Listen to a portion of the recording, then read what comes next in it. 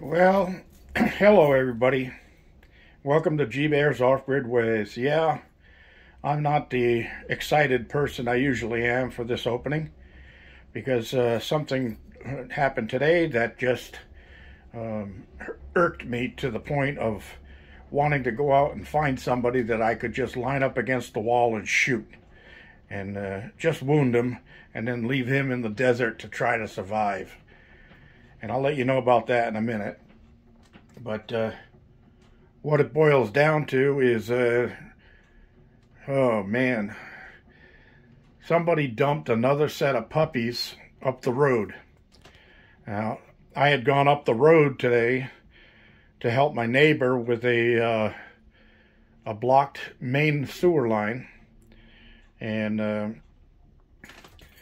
when I was leaving his place, well, actually, let's go back a little bit. As I was heading up there, I saw a guy up ahead in a white pickup truck with a camper shell type thing on it. And he was going real slow in the road, but it looked like there was some dogs running behind him. Well, when I got up there to where he was at, he stopped, and the dogs stopped too. They apparently recognized the vehicle. And uh, I gave the guy a dirty look. And I just, something wasn't right. So I told my neighbor about it when I got up there. And uh, anyway, when I was leaving, after we got the drain um, cleared, I was coming back down the road and right there in the same spot, I saw something tiny in the road and it was moving. And I pulled over and sure enough, it was a tiny pup. I mean a real tiny pup. It was one of two. And here's a picture I took of them out in the desert. Okay, now these guys are actually just about um, two times the size of my hand. I can hold one in my hand um, right out like, th like this and his head sticks out one side and his rear legs stick out the other side of my hand. So I'd say that they're no more than two weeks old at the most. And some dirtbag dropped these guys in the middle of nowhere in the desert to fend for themselves in the desert. And it's going to be a cold night tonight. It, these guys would not have survived the night out there in the cold. Well, anyway, this this guy on this side was the bigger of the two, just slightly bigger. And um, he was in the one that was in the road.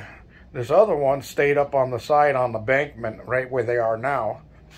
And uh, as I stopped and got out, they both ran over behind that bush right over there. And they were hiding behind the bush, but they were crying.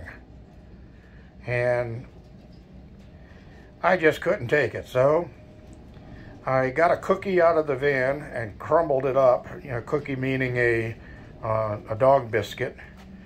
And I crumbled it up into small pieces. And then I went to the side of the road and I called them in a nice calm voice. And this guy came first. That's the picture of him coming towards me. And the other one was a little weary about coming towards me, but uh, did did kind of follow this guy. When I got him over close enough to me, I put some of the cookie crumbles down, the biscuits down, and they started eating right away. They were hungry. No water, no food, no shelter. Some dirtbag left these guys out in the desert to die tonight. And become the coyote bait or whatever. Well, that was it. I couldn't leave them out there.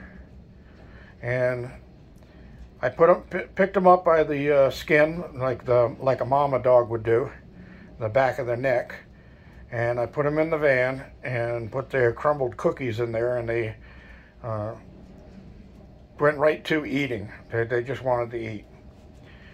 So I couldn't take these because my my four that I have here are way bigger than these. These guys would be a mouthful to them. And I'm sure that uh, um, there, there would be fighting and just, I can't afford the four I got, so I couldn't take two more little babies like this on. So I brought him back to my neighbor's place, who um, has a dog sanctuary but is uh, overwhelmed with too many dogs. But uh, he he also realizes that I can't take them, so he took them on, and uh, he's got them there now. So um, they won't die tonight, at least. But uh, they're, they're probably still a little too young to be away from mom, and uh, they probably need some uh, special care. Well, he does that, or he's been doing that for quite a while, so he and his wife know exactly what to do for this, and they'll take care of him. Um, sorry. It uh, tears me up, and it angers me.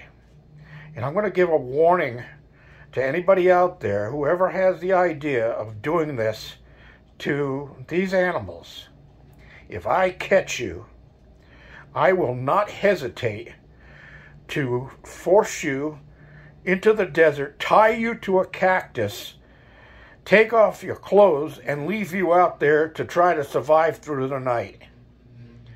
So that's a promise for me, not a threat. That's a promise. Little bastards. Anyway, excuse my French. Um, yeah, I usually have my dash cam running, and I could have got the plate number and, and a good look at the guy there because he he eyeballed me when I drove past him, and he uh, he looked like he was guilty of something. Well, of course he was. There it is, right there. But uh, yeah, yeah. If I ever catch you, if I find out where you are, I'm coming to get you. And you're not going to like it. Trust me. Not a threat. That's a promise. As Will Sonnett used to say in the Guns of Will Sonnett, no brag, just fact. All right, everybody, that's all I have for today. Don't forget thumbs up. Don't forget to share and subscribe. G Bear signing off.